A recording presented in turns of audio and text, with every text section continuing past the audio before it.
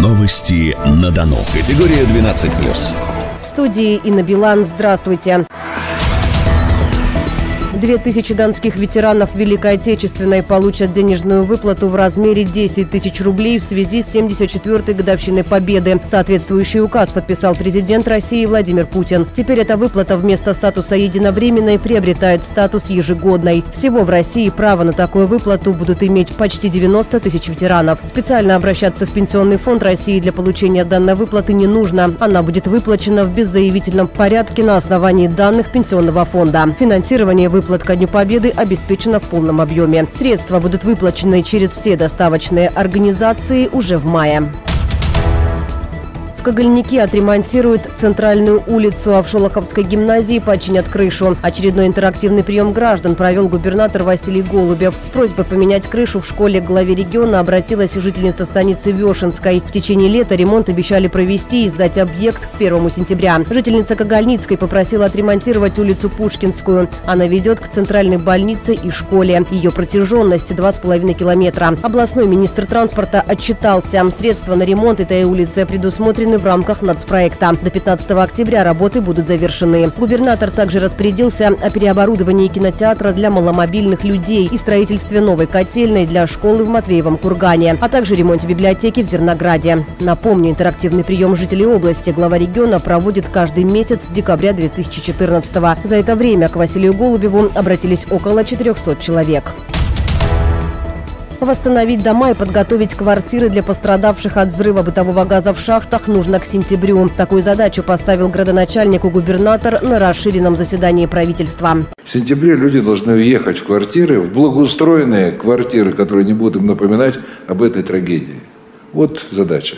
Вы и соответствующее министерство этим занимаетесь и должны выполнить точно. Кроме того, на заседании обсудили итоги отопительного сезона, газификации и бюджетного процесса в городах и районах. Василий Голубев потребовал не затягивать сроки строительства новой котельной в Каменске. О работах, которые проводятся на объекте, рассказал министр ЖКХ области Андрей Майер. Мы держим данный объект на особом контроле. На сегодня до 2018 года включительно 130 миллионов освоено, на текущий год почти 50, предусмотрено из которых сейчас 15 выполнены работы. По большому счету основные работы – это строительство самой котельной, Строительство всего оборудования внутри выполнено. Сейчас э, завершается работа по электрике, автоматике, по полам внутри здания. Подвели на расширенном заседании итоги газификации региона. Сейчас уровень превышает 88%. В этом году будет построено 29 объектов газоснабжения. Проложено 210 километров газоснабжающих сетей. Возможность провести в дом газ получат более 7 тысяч семей. Глава Минфина рассказала и о результатах оценки качества управления бюджетным процессом в городах и районах и отметила положительную динамику. Это особенно важно, так как предстоит освоить значительные средства, выделяемые на нацпроекты, говорит замгубернатора губернатора области министр финансов Лилия Федотова. В 2019 году на реализацию восьми национальных проектов муниципальным образованием предусмотрены средства в объеме 8,9 миллиардов рублей. Главными распорядителями средств областного бюджета своевременно завершена работа по заключению соглашений с местными администрациями, в том числе по субсидиям за счет средств федерального бюджета в системе электронный бюджет. Нацпроекты касаются всех сфер жизни региона – образования, жилья, демографии, дорог, здравоохранения, поддержки бизнеса, культуры и экологии, говорит Василий Голубев. 48 региональных проектов и практически все направления нашей жизни. Поэтому давайте к этому основательно отнесемся. У нас с вами уже время для раскачки просто нет. В завершении губернатор вручил дипломы главам лучших муниципалитетов по организации бюджетного процесса. Это Волгодонск, Волгодонской, Октябрьский и Родионово-Несветайский районы. Синоптики обещают дожди в начале мая. Любители отдохнуть на природе огорчены, а аграрии рады. Для будущего урожая зерновых в Октябрьском районе погода этой весны складывается как нельзя лучше. Пшеница сейчас, как выражаются аграрии, уходит в трубу и с трудом выдергивается из земли. Значит, растение сильное, с крепкой корневой системой. Нынешняя весна не идет в сравнении с прошлогодней, засушливой, отмечает глава крестьянско-фермерского хозяйства Владимир Пятибратов. Я считаю, нам растениеводам э, очень повезло. То есть э, непрерывно э, идут тогда, когда нужно дожди. И мы опять ждем, сегодня э, будет дождик. То есть растения чувствуют себя комфортно. Поэтому вот дать удобрение, защитить. Защищают растения и от сорняков, которые также набирают силу во влажной почве. В этом деле важно успеть в срок и правильно рассчитать объем и вид средств защиты. В этом хозяйстве с весенними работами уложились оптимально. Работать агрономы будут и в праздничные дни. Такой тандем погодных условий и человеческих усилий дал посевам нужную силу роста. И теперь этим двум тысячам гектаров озимых не страшна никакая летняя жара. Учитель английского из Ростова представит Донской регион на всероссийском конкурсе «Учитель года-2019». Евгения Змеу стала лучшей в Ростовской области. Она творческий педагог, который опробирует современные методы обучения и воспитания. О том, что нужно, чтобы победить в таком конкурсе, корреспондентам ФМ на Дону рассказала Евгения Змеу. Самое главное, нужно верить в победу.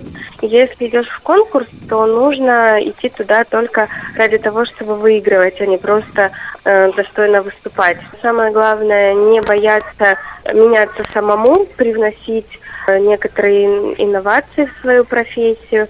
И когда учитель экспериментирует, находит лучший путь к сердцам своих учеников, тогда, пожалуй, это и является залогом успеха. За победу в региональном этапе боролись 53 человека из разных уголков области. На первом этапе они должны были провести открытый урок и методический семинар, после чего осталось 15 претендентов на победу. Именно они представили на суд жюри свои мастер-классы. Также педагоги почувствовали себя образовательными политиками за круглым столом с замминистра образования региона. Евгения Змеу стала абсолютным победителем конкурса «Учитель года 2019». Финал пройдет в Москве в сентябре-октябре этого года.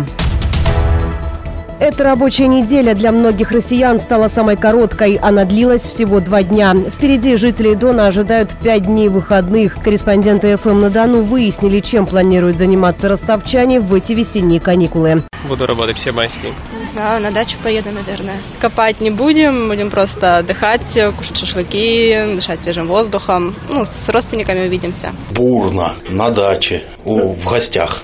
А как? Никак. Будем сидеть дома с родственниками. На майские праздники я планирую отдохнуть от работы. Погода позволяет, она не позволяет выехать куда-нибудь на отдых на побережье или на Калминводы. Поэтому буду отдыхать, наслаждаться свободными часами. Ну а потом, может быть, подумаю о науке. Сделаю что-нибудь для страны, для народа.